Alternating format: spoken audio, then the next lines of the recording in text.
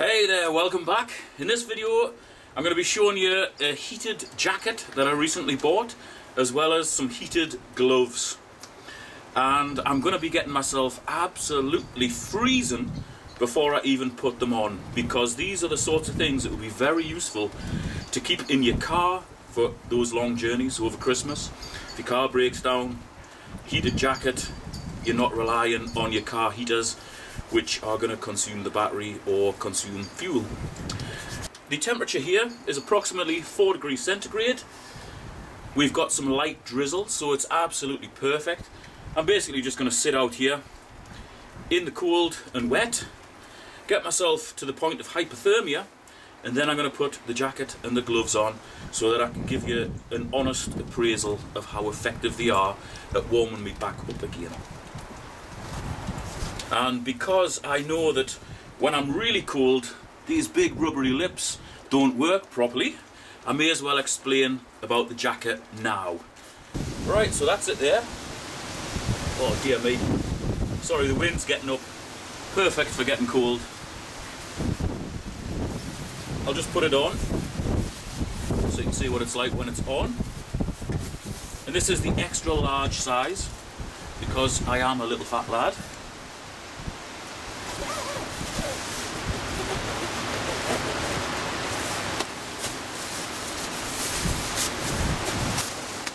Now looking at this, you can see it does look very warm without it even being switched on and heated. And it is, but it isn't super strong material. You know, this isn't equivalent to some of your outdoor gear by Harkila or Beretta or something like that. You're not going to be pushing yourself through dense hedgerow in this sort of thing because it will rip. This is basically just for everyday use. And for me, whose son is a footballer, this sort of thing is absolutely perfect for just standing, watching my son play football. Warmer than anybody else in the whole crowd. Inside of here, we've got a little pocket. And in there, you have a battery which is, uh, is it 10,000 milliamps? Yes, it is. 10,000 milliamp hours. And of course, you can use this to charge your phone or whatever as well, but this is actually used to power the heating elements in the jacket.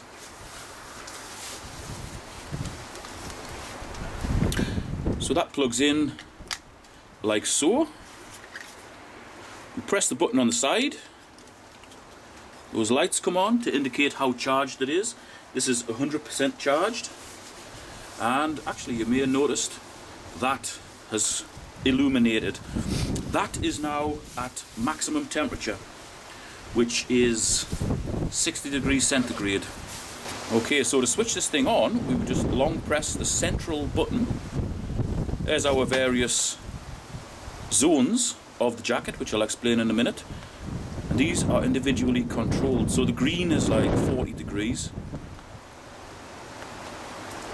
Blue is 50 degrees, as far as I can remember, I may get this wrong, and red is 60 degrees. So you can set it to various parts of your body. Or you can just have it all maximum heat, which is what I'm going to need it to be very shortly. So I'll just switch that off, put this away, and I'll show you the gloves. We will come back to this, obviously, when I need to wear it in about half an hour. Now all the details to the jacket and the gloves will be in the video description and also in the pinned comment along with any relevant links as always. So they come in a really nice bag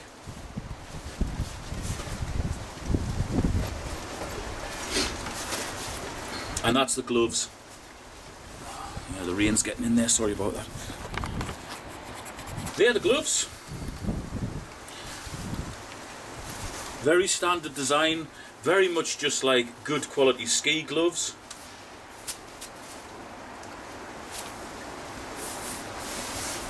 They're actually really nice quality.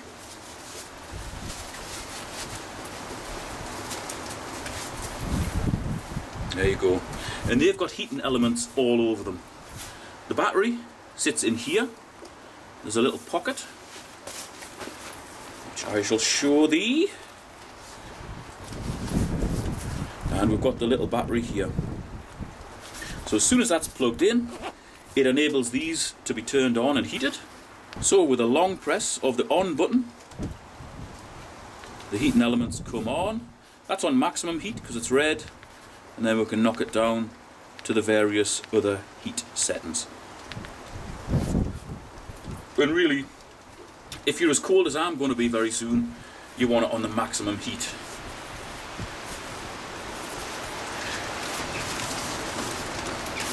And the gloves also have an adjustment here so you can tighten them down over your wrist to keep whatever heat is being generated in here. Keep your fingers warm. And I've just noticed actually, that's 3M Thinsulate. And a lot of the outdoor gear I've got, especially the hats and gloves, are Thinsulate. And I've never been let down by that material. Yeah, good stuff. Okay, so it's really just a case of standing about and getting freezing cold. And I think I know a really good way to speed up that process. Gotta love the English winter, haven't you? Never seems to be snowy and nice. It doesn't look very appealing. It's always cold and wet and just dank and horrible.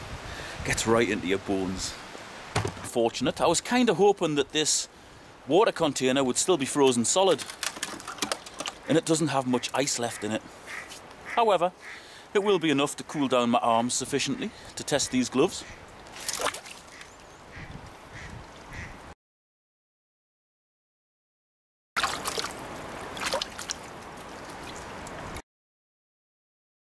They've been in a couple of minutes and it's got to the point whereby my hands are pretty much useless.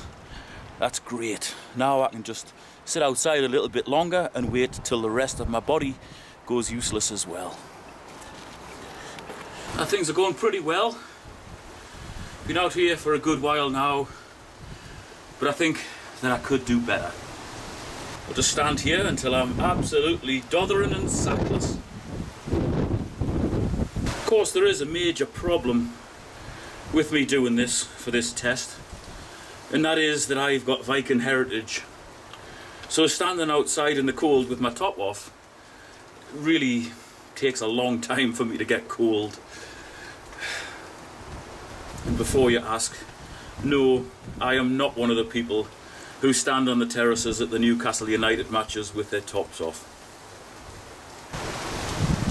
Oh, that's nice. And a bit of good rain on me back now good. You know, I'm still not cold enough. I don't know what I've got to do. Hopefully it won't end up in me having to swim around in my pond. I'll just give it another five or ten minutes and then maybe make that do. I've been out here about half an hour. And as I say before, cold does not really affect me. the Wim Hof of Newcastle. That's got to help. So I'm just standing here in my kegs trying to get cooled. Uh, it seems to be working a little bit as well after about half an hour or so. My back is starting to stiffen up a little bit. I do feel my lips becoming a little bit more useless. So you will have to forgive me if in the very near future you can't understand what I'm saying. Because my lips just go all over the place in the cold.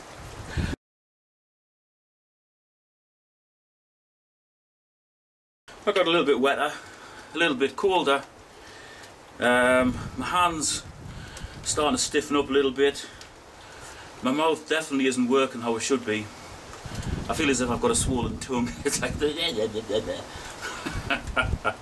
I think it might be time to put the jacket on now because I can't stand around all day trying to get cold.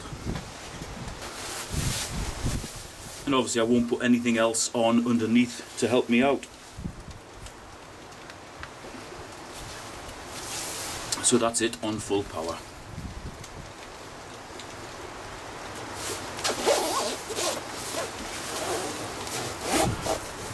Now whilst this is starting to warm up, I should have really mentioned where the heat pads are inside this jacket.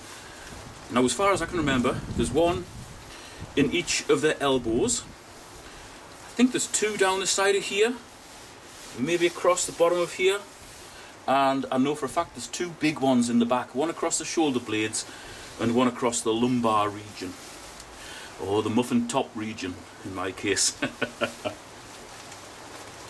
and something I forgot to mention before is along the bottom of the jacket it's got a draw cord so you can actually like lock it in around your waist to keep any generated heat within the main core of your body. And it's also got a hood as well which you can draw down for extra warmth which I shall be doing just to see how quickly I warm up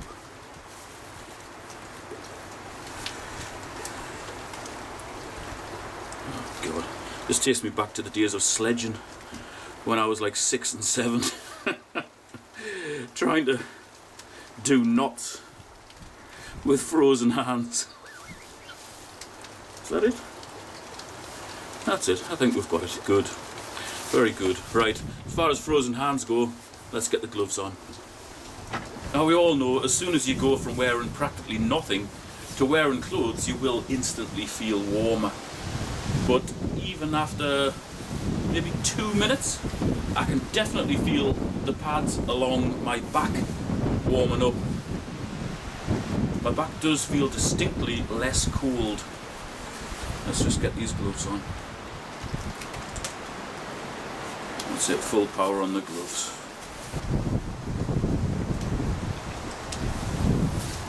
And full power on that one.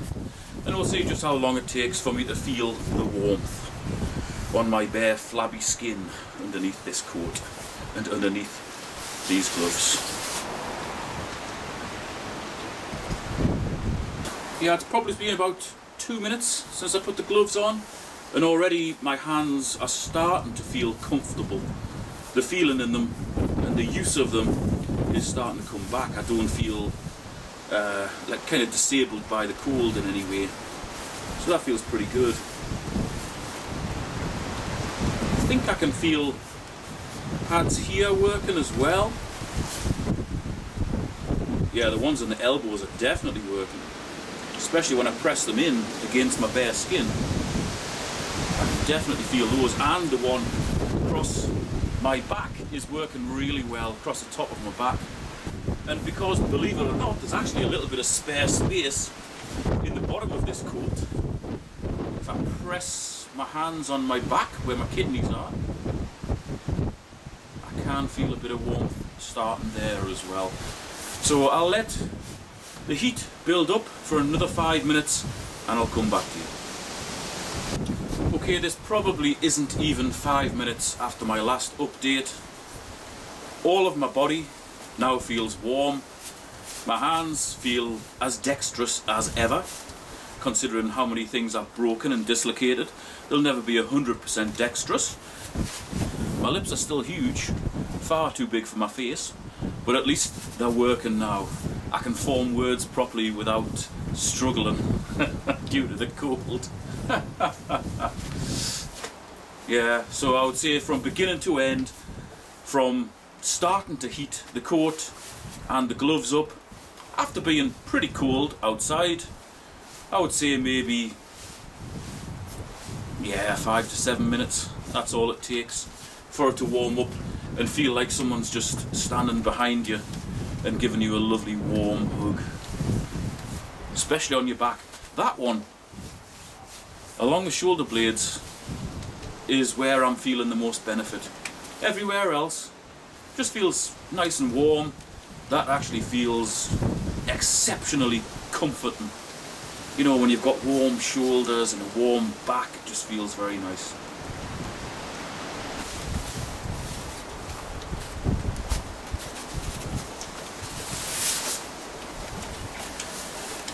Yeah, so both of those definitely work well. And even without the heating on, this jacket is pretty warm. It does have good insulating properties. I wore it probably two or three weekends ago when I went out for a walk with my wife, and I think it was close to zero degrees then as well. Um, I put the heating on full blast, and just at walking pace, it was actually too warm, and all I had on underneath was a t-shirt and a very fine fleece. So at full power, you really only need that sort of input as far as the heat goes if you're just standing or sitting for long periods of time. For anything more active, you probably won't even need the heating on with this jacket. It does feel genuinely warm, but it is very much just a sit down or stand and be warm sort of coat. Obviously you could go for walks in it as well, but I wouldn't even bother using the heating. I would save that until you're actually sitting or standing still because you just don't need it. It's warm enough without that, you know. And it'll be warmer still if you had clothes on underneath. Which of course, I don't. So if you're interested in the gloves or the coat, the links to them are in the video description and in the pinned comment. I think when I bought it, there might have been like a 40% discount or something, which made it very affordable uh, and a good buy. Now the links I put down there are on Amazon, and as we know with Amazon, the discounts that are offered can change from day to day or even hour to hour. So if you click on them and you think it's a little bit expensive, try the next day because the chances are it might have a bigger discount on it. You know, but I'm happy with what I paid for this, which I think was the 40% discount. Hopefully you found this useful. And if you did, feel free to share the video anywhere online. Give it a thumbs up. Now as always, anybody that's watching, please don't just take my word for it. If you, or anybody you know, has used the GOKOZY coat or the GOKOZY gloves, please feel free to put your report in the comment section because that is so important to anybody considering buying something like this. And there's so many fake reviews online that I would always urge anybody to go to the comment section of any video you watch on any channel. But I know that probably 99% of people doing reviews out there aren't 100% genuine. Let's just say that, and I won't name names. Thanks for watching, I'll see you next time.